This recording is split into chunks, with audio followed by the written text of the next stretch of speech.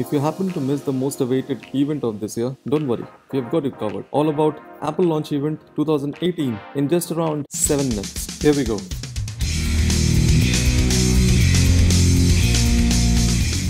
But before we begin, make sure you hit that subscribe button and stay subscribed. Also hit the bell icon to stay updated with all the amazing video updates on my channel.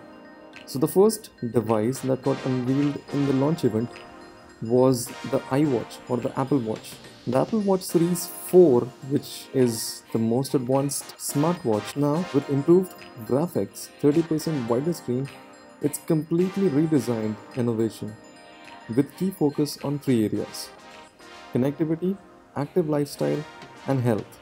A humble and essential part of human lives, it intends to be an intelligent guardian for your health. The first smartwatch which enables you to take a live electrocardiogram on the go and share it with your doctor too. Packed with a lot of features and new design, 30% larger display, new UI, a digital crown which haptics, faster operating interface, 50% louder speaker, fall detection, emergency services at your fingertips, ECG, cellular, GPS, altimeter, so Bluetooth 5.0, optical heart sensor, and so many things.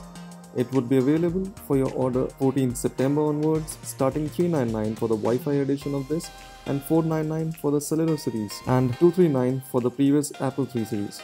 Then followed by the unveiling of the beautiful and the most powerful iPhone models, the 5.8 inch iPhone XS and the 6.5 inch iPhone XS Max.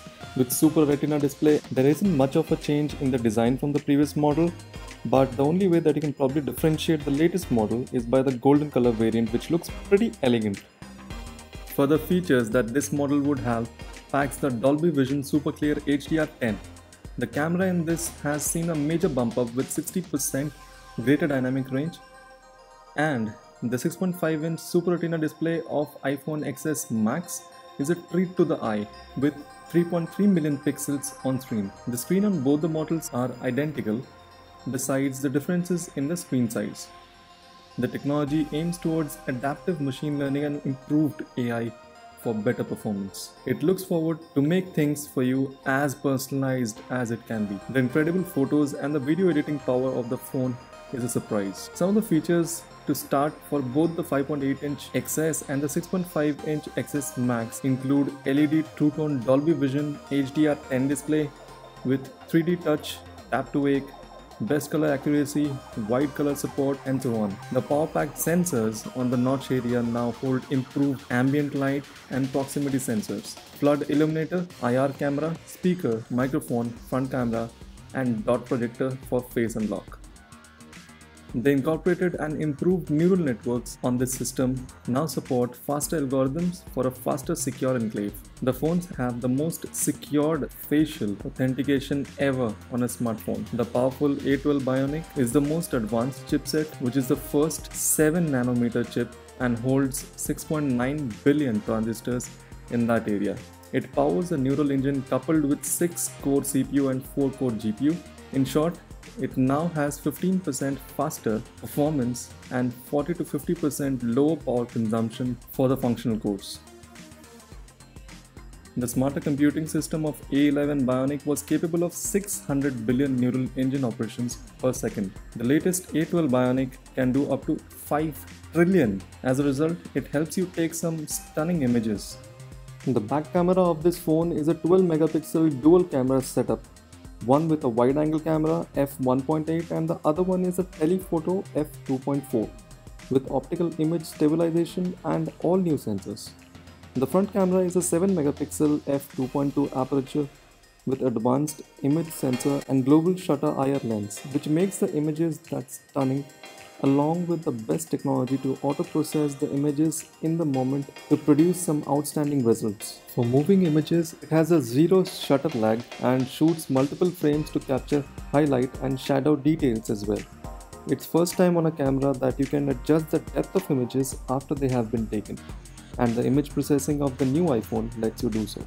Behold, because this is the first time that an iPhone has DSDS, dual SIM dual standby you can keep two different numbers and use two different plans on them.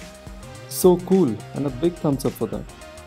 The DSDS would make it possible with the eSIM technology and for certain locations like China, it would also look at dual physical SIM models too. A good news is partners like Airtel and Jio are in sync, so you can look at making the best out of this dual SIM feature in India too.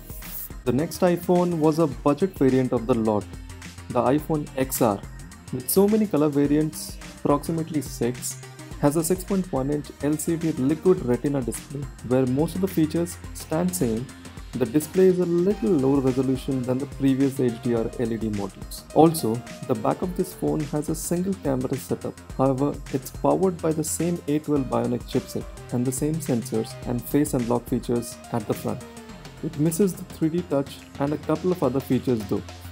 The XR comes in three storage variants 64GB, 128GB and 256GB starting $749 and available October 26 onwards, whereas XS starts $999. The XS Plus starts $1099. You can expect these models by September 21st or September 28 in these respective countries. That's all for this one. Please leave a thumbs up if this video was informative for you. Let me know what you feel about the releases in the comment section below and I'll see you guys in the next video. Stay tuned and keep artifying your life. Cheers.